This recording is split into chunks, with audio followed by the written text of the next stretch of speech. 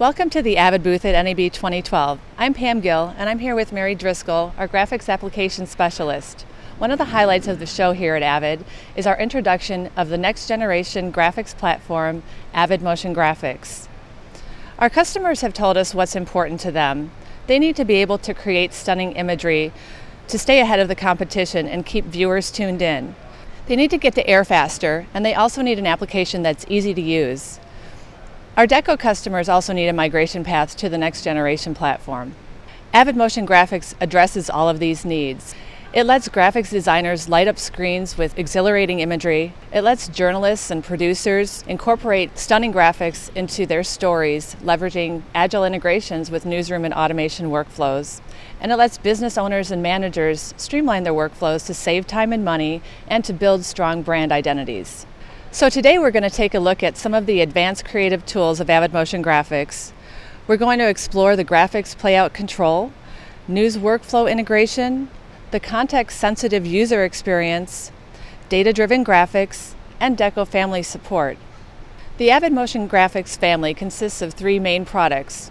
First, we have Avid Motion Graphics. It's used to create high production value graphics in real-time 2D and 3D rendering.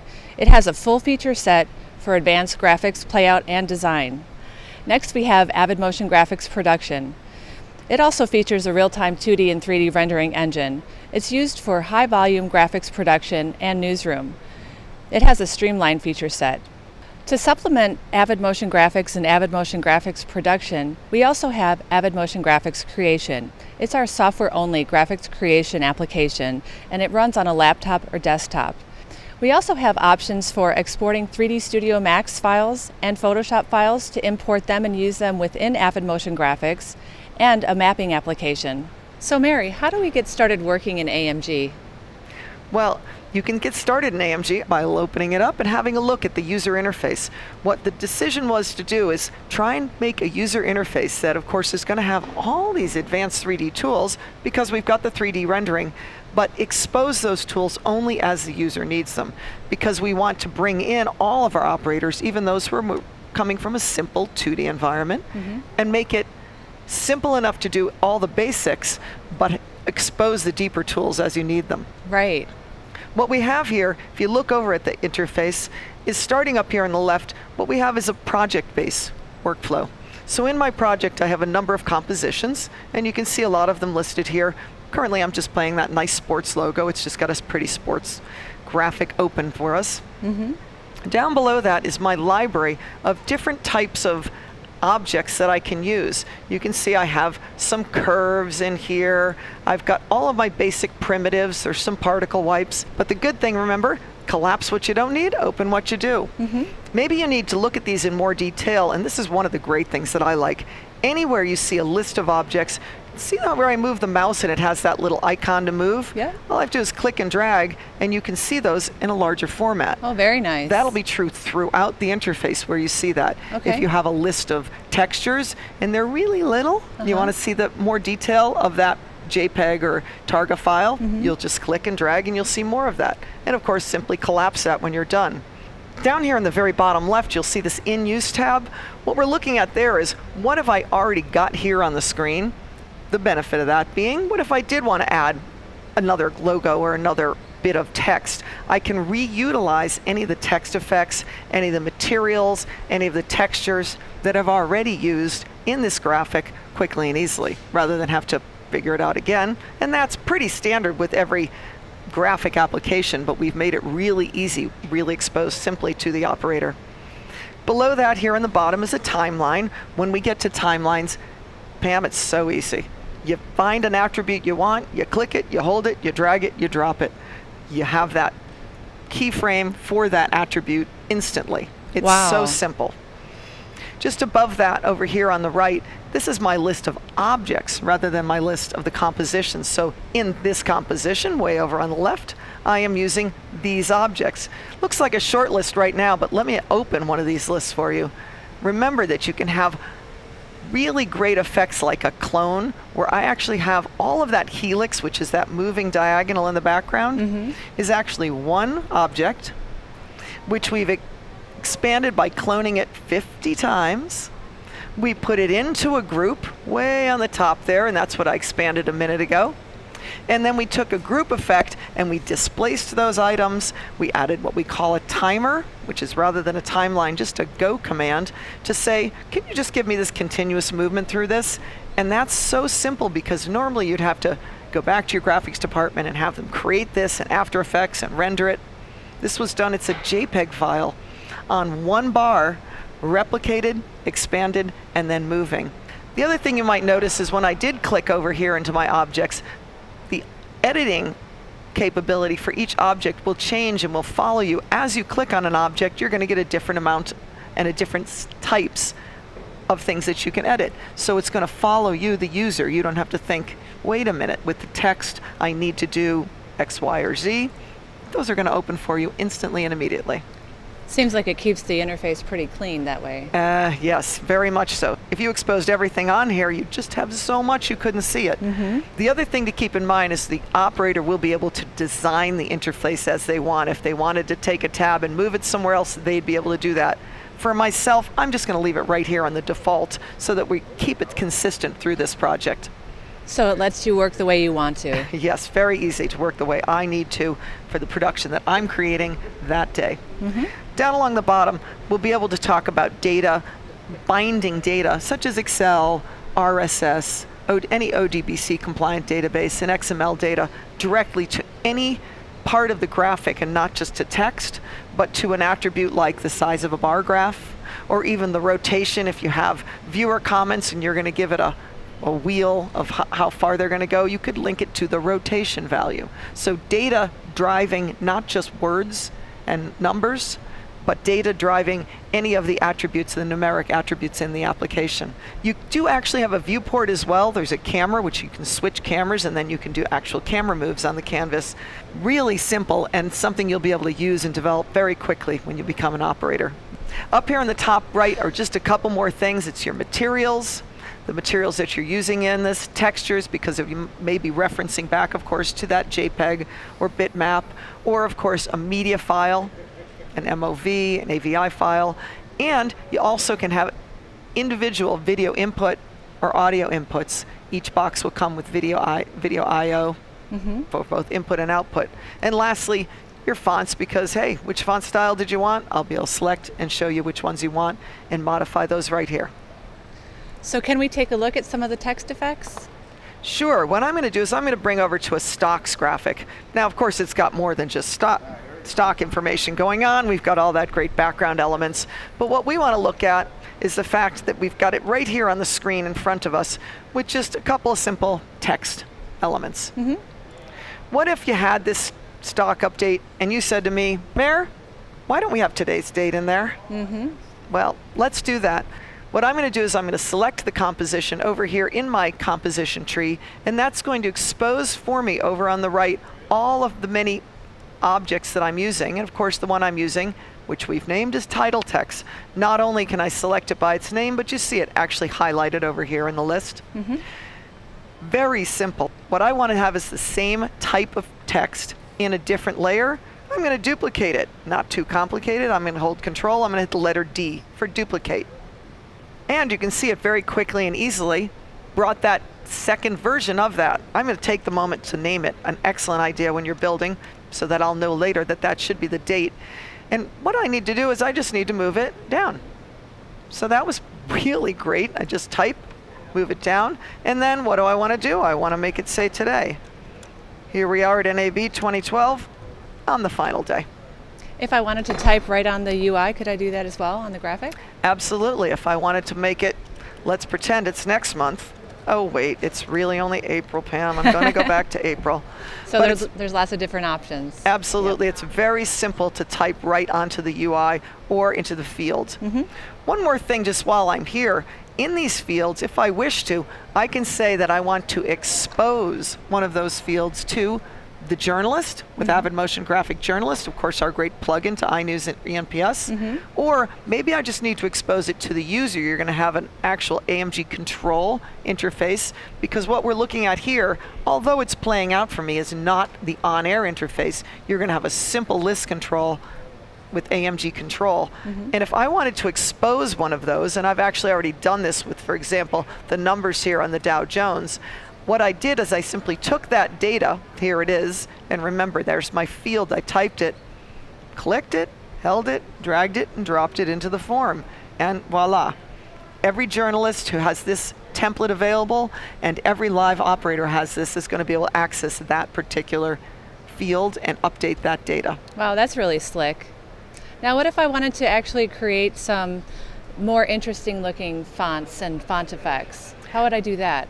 Well, let me just go over to one of our simple samples here, simply called text effects. When text is added, it comes up as just a very flat 2D white Arial text. But it's quite easy to modify that. If I come over here to my library of effects and I click on the font, which conveniently, not just tooltip, but with the letter A, so it's obvious, I can open up these different types of fonts, a number of 3D extrusions and outlines, and then basic 2D font text. What I did here is I actually made this into a 3D text, and to do that, I had clicked it, I had dragged it, I had dropped it. Now, since it's already there, I'm not going to do it again, but if we move over here into our text menu, you'll see it's already got a 3D font on it.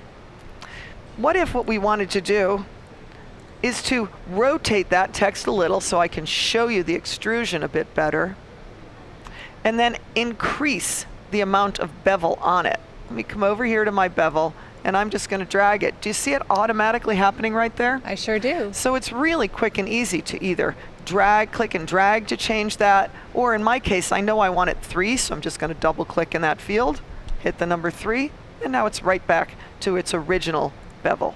And of course, you can save all these presets for later use. Absolutely.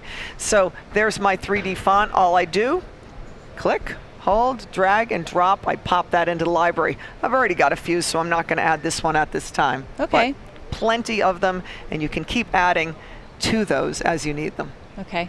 So you've got your font, you've got your style. Now what if you want to animate that?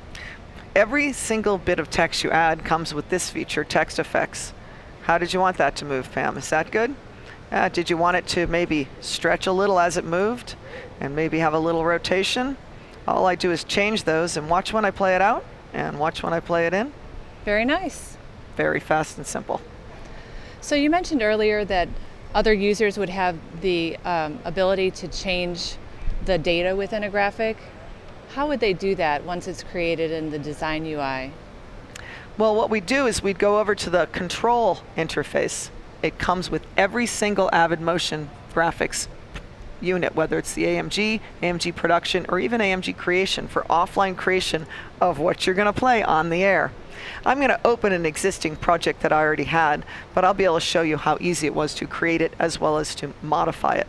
When I open it up, I have two sections here. You'd want to do that. You'd separate out, say, um, between uh, before your first break or pertinent to subject, which is what I've done here with news and sport. If I wanted to play this graphic, I would, let's say, hit spacebar. That's how easy it is. Wow. Let's go down to that stocks graphic. I'm going to arrow down to it. Going to hit the spacebar. What if I had something I wanted to edit? Well, I'm going to come down to that third one, and it's really just a lower third, and it says default text. That's obviously not what we want. I'm going to play that back off. Let me edit that for you. Hit the letter E. E as in edit. You just type something right into there.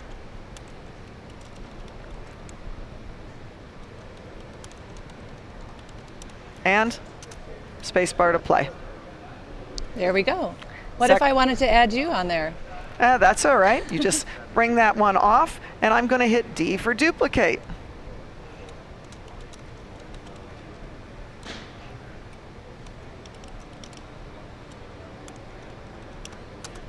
And there we go. Very nice. So you're able to not just add from this list or duplicate from this list, or obviously delete anything you don't want in this list. If I wanted, see my election graphic down on the bottom? Mm-hmm. I'd like that to actually be item number three. I'm going to hit page up twice. I could also click drag and drop. I could find another graphic from down below that I wanted. I could drag and drop it right in there. I can add to that list and move it. You can see how simple it is. Very slick. one other quick feature I want to show you there, Pam. Many of these graphics, the full screens for instance, would always be on the air all on their own. But if I bring your lower third back in, you know, I've got this great news bug and I'd like to add it. I'm going to hit F1. If you look in the top left, the F1 uh, label on that box turning red. Yep. When it's red, it means if I play something, you should go off. But when it's gray, it says stay on the screen. And if I play something else, add it to that. So now I have two objects on the screen. I can add that bug, I could add a live, I could add a ticker, and then anytime I need to take them off, and let's say I need to take them off and move back to my elections graphic, I simply highlight them in red, they'd play off and the next one on. The idea is to make it really, really fast and simple to get there. So Mary, I noticed when you brought that second graphic onto the lower third that it moved over the first one. Is that built-in logic to the system? Yes, that's something you're able to build in yourself when you do the template creation. So the let's say it's news, the news director and the art director would work in tandem and they'd say, well, the possibilities of what could happen in the show are you could have this on and you may need to add this, this, and this, or take that off. They'll create in the logic here in the presenter mode with the grouping of these different compositions, the knowledge that if this happens, then that should happen. And so that's something that you'll be able to do in the creation process so that when you're on air, the people telling the story and doing the actual newscast or sportscast won't have to worry, will this work? Will this not work? They can add the content they need pertinent to the news that they need to tell rather than having to worry about the graphics working correctly on the air. And probably avoiding collisions as well. Hugely. Well, that's great for manually entering data into graphics, but what if it was linked to a data source and it automatically updated? How does that work? Well, what I have here for you to show that is a primary graphic of different counties. And rather than taking and adding data that is just going to drive the, the numeric or the um, alpha information, a name or text data, what we decided is let's show you that data can drive any object on here. So here are the types of data that we can use. I'm going to be using an Excel database here, but you see we have the ability to link to RSS and XML, any ODBC compliant database. But what we've done here in this particular graphic for the elections is rather than take and make the letters or the words be driven by data, we've taken and linked data to the map, to the depth of the map. Yes, I can see how that there are different depths. Well, let me show you that. I'm going to deal with Mitchell County right here in the middle. And if I move down to my data sources down here in the bottom, I happen to already know that number seven is going to drive the depth of that particular county. I'm going to make that size very large. I'm going to make it six. Did you see how Mitchell County came out for me? Sure did. To bring it back to a more normal. The idea here is in my particular case, it's just popping to that, but I could build a timeline and have it animate to that effect very quickly and very easily. So data, you need to think of data not just giving me the numbers for the election results or the scoreboard, but data driving any of the attributes of the graphic right here. Very cool. You see the flag? Doesn't that look like a nice animation? Someone built that and exported that to me after a render. Mm-hmm. That flag, if we look here at the texture for that flag, is a bitmap. So it's a static bitmap. How mm -hmm. long mm-hmm. did that take the graphic artist to build? Not very. All we did is we took that flag and we linked this offset to a timer with, again, as always, simple drag and drop technology. What I'm going to do for you to show you that this is really playing in full time, it's taking 13 seconds to happen, and what's happening is set to swing, so it's playing back and forth and back and forth. I'm going to change it, make it really fast there. See how it's moving much faster? Yep. Okay, I'll change it back to what we had at 13. If someone had created that in an After Effects project and then the producer had come in and said, that's too fast. They'd have to take the project back, do that full re-render, bring it back in. We're able to do those things on the fly in real time right here on Avid Motion Graphics. Wow, that's amazing. What a time saver. Earlier you were showing us the list of primitives. What if I wanted to design a new look and use primitives and apply a texture to them? Can you show us how that's done? Sure. Once again, I'm going to start with one of our basic ones. And there's a cube here. Looks empty, but there's actually inside of that a media file. Wow. What this is, is this moving MOV file, and it's actually mapped on all four sides, or six sides, because it's a cube, of that cube, okay? You could map into that live video, or in this case, an MOV file. Would you like to see something different in there, Pam? You bet. Let me navigate over here to my clips. How about we put this little bit of an ocean kind of a look, blue. Eh, that's a little mellow for me. Let's instead put on another one of these clips. You can see how easy it is. These are really just different video lighting effects on these clips. So you can map clips to any object in the UI. Absolutely. Let's add another object just because why not? Move back to our primitives. Come down to a sphere. If I want to put it on the screen here, I'm going to hold shift and drag and drop. So shift, drag, drop just brought that sphere right in. Would you like to see a different bit of video, moving video on that? Yes, I would. Gosh, I think we have the Ferrari. And there's video footage from close-ups on some Ferrari footage right there mapped into that sphere. Very Rem cool. Remember, that can still be moved and animated and slid around and rotated. And the other thing that's cool, if I do move that right there, can you see that that's truly 3D? It's in front of, behind, or inside wow. of that cube. Very cool. So Mary, what if what if you want to work in stereoscopic 3D? How do you do that? Well, we do have an option for stereoscopic 3D, and you'll see here if I open up my preferences, I'm able to set the program stereo to whatever type of 3D I want to work in, whichever eye.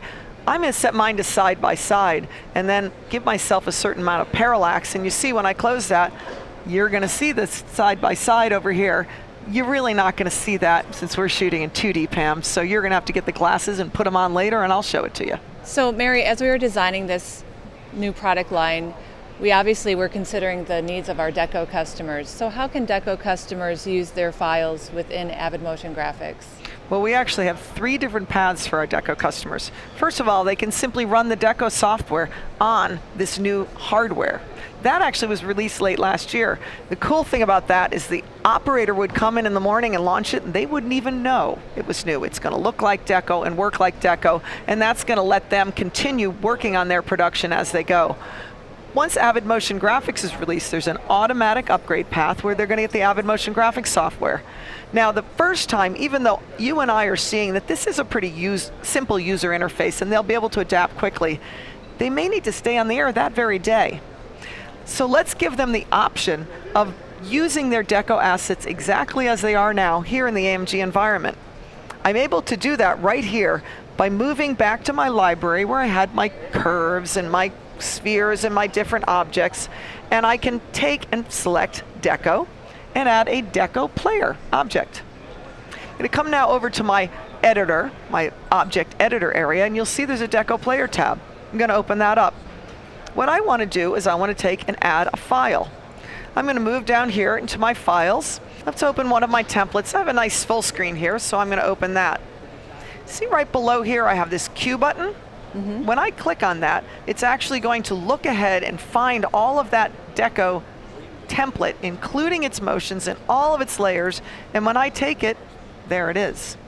Very nice. Now, the really cool part is if I click on configure, I can open and show you that there's actually a deco running right under this graphic. Mm -hmm.